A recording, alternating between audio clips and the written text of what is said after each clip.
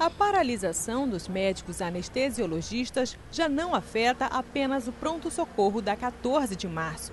Em todos os hospitais que têm convênio com o Sistema Único de Saúde, os atendimentos foram suspensos, inclusive no PSM do Guamá. Os profissionais cobram melhores condições de trabalho, mais estrutura e o pagamento dos salários atrasados.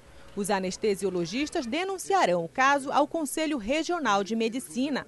Eles já cogitam a possibilidade de tornar o serviço particular. Caso ele insista em não pagar, e, e também não se prepare para melhorar os equipamentos que nós pedimos já judicialmente, nossa advogada já pediu há dois meses e não fizeram nada, a gente deverá denunciar o Conselho Nacional de Medicina e não deverá ter mais anestesia para o SUS. O SUS vai passar a ser particular, como foi já, né? se vocês não lembram, há uns 15 anos atrás, nós ficamos sete anos parados no SUS. Porque eles não pagaram, não pagaram, nós paramos sete anos e a gente cobra de quem pode uma taxa simbólica de anestesia de quem pode, que são pobres, quem não pode faz de graça e pronto.